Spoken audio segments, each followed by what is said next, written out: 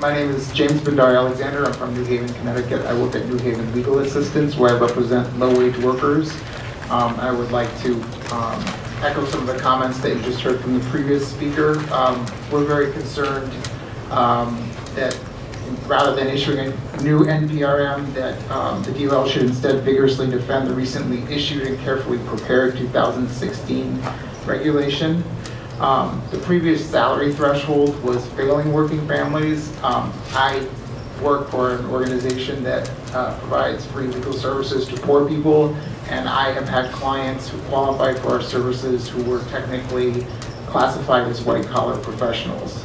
Um, This uh, would strike probably anybody in the room as problematic. Um, We think DOL should implement a regulation with a robust enough salary threshold to correct for the 2004 regulation, um, which led to a dramatic decline in overtime coverage for salaried workers. Um, If the department promulgates a regulation with a lower threshold, it should revise the duties test and make it more vigorous to correct for the flaws in the 2004 regulation.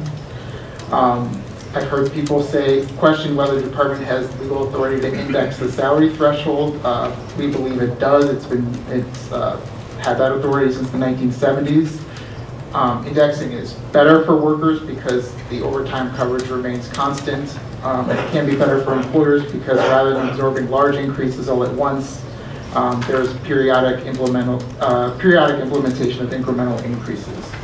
Um, We don't believe that the department should implement different salary threshold levels for different regions in the country. Um, We think that there's one national economy and uh, working families need one standard.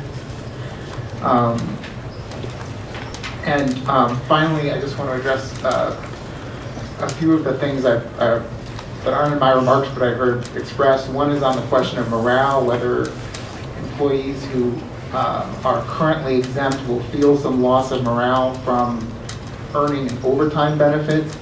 Um, I would strongly suggest this is not the case for any of my clients or any client I have ever worked with or could imagine working with, that they would resent being paid more for more hours of work.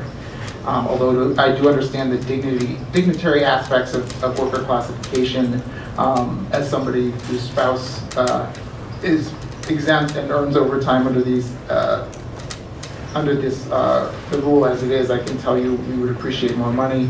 Um, As far as litigation, uh, I do believe that uh, a higher threshold would reduce litigation. I bring wage and hour actions um, for plaintiffs, and um, higher, higher salary standard certainly reduces the number of people who are eligible to bring those cases, assuming that's the issue.